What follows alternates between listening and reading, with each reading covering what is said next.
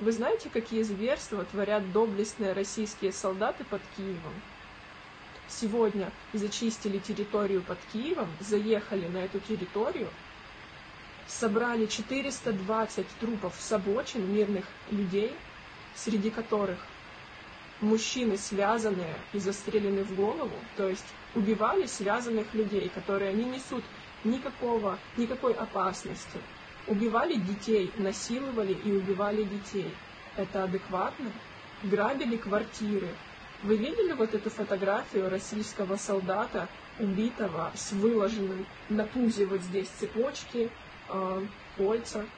Это самый жирный улов, который собрал солдат, поэтому он стал известным. Остальные, они забирают ложки, кастрюли, какие-то микроволновки. У меня вопрос один. Какой уровень жизни у этих людей, что они детские игрушки из квартир забирают? Вы бы привезли своему ребенку игрушку с войны. Это нонсенс. Мы за игрушками пришли, понимаете? Мы же нищий народ, мы пришли за игрушками.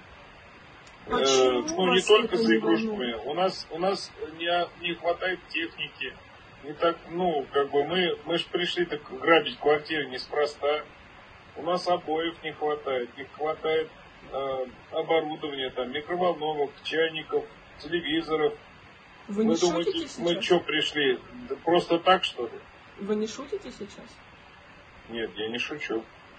Хорошо. Но у нас, у нас большая проблема с бытовой техникой. У нас огромные цены на бензин. Мы, ну, да, вот так получилось. Хорошо. Встречный вопрос. Для сравнения. А, вас не волнует то, как живете вы?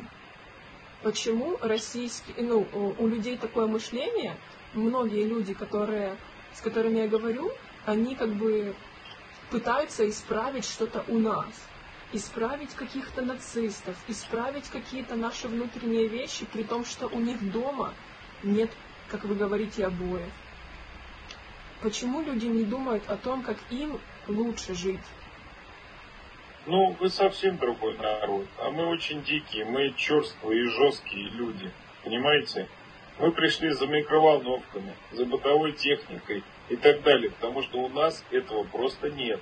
А и мы готовы, ну, как бы, сами понимаете, идти на какие жертвы. То есть нам проще поменять наши танки, наших людей на ваши площади и завладеть вашей бытовой техникой. Понимаете? Я не понимаю. Мы, гиб, мы гибнем за нее, за вашу бытовую технику, за ваши автомобили, за ваши квартиры. Мы несем потери тысячами, тысячами наших солдат. Окей. И вы считаете, что это адекватно? Конечно.